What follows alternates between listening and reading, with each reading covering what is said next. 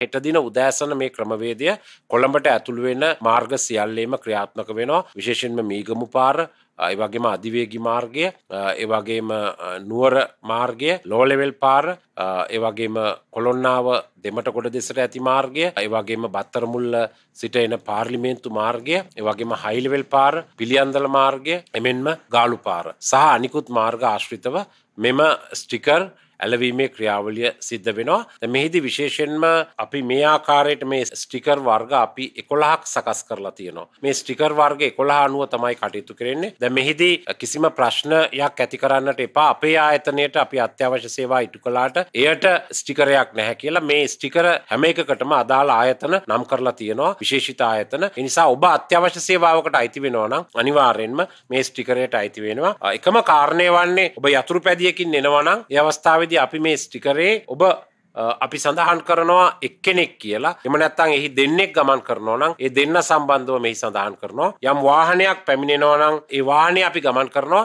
ඒ වාහනේ තුන් දෙනයි කියලා. ඉතින් මේ ස්ටිකරය නැවත සංචාරණ සීමා ඉවත්වන තුරුම වළංගුයි. මේ ස්ටිකරය ඇලවූ පසු හෙට දිනේත් ඒ වගේම ඉදිරි දින කීපෙත් අත්‍යවශ්‍ය සේවාවල අයට ගමන් කරන්න පුළුවන්. නමුත් ප්‍රශ්නය තිබෙන්නේ වාහනේ ගමන් කරන්නේ පස් දෙනෙක් යයි සඳහන් කළාට පස්සේ ස්ටිකරේ නැවත හය දෙනෙක් හත් දෙනෙක් ඒ වාහනේ ගමන් කරන්න බෑ. ඒ අනුව මේ ස්ටිකරය ලබා දෙන්නේ විශේෂිත ක්‍රමවේදයකට අනුව. සම්පූර්ණයෙන්ම ඒ අයගේ සේවා හැඳුනුම්පත ජාතික හැඳුනුම්පත ඒ වගේම මේ වන විටත් එම ආයතනය විසින් නිකුත් කර ඇති ලිපිය පරීක්ෂා කිරීමෙන් අනතුරුවයි ලබා දෙන්නේ. ඒ අනුව හෙට උදෑසන කොළඹට ඇතුළු වෙන ප්‍රදේශවලදී මාර්ග බාධකවලදී ඔබගේ වාහනය මේ ස්ටිකරය හඳුන්වා දීම නිමිත්තෙන් යම් ප්‍රමාදයකට ලක් වෙන්නට පුළුවන්. නමුත් මේ ස්ටිකරය හෙට දිනේදී ප්‍රමාද වෙලා හෝ ලබා ගැනීමෙන් පසුව ඉදිරි දිනවලදී ඔබට කිසිම බාධාවක් නොකර මේ ස්ටිකරය භාවිතා කරමින් ගමන් කිරීමට හැකියාවක් තියෙනවා. කොළඹ නගරයට පැමිණීමේදීත් කොළඹ නගරයෙන් පිටවීමේදීත් මේ ආකාරයට ගමන් කිරීමට හැකියාවක් තියෙනවා.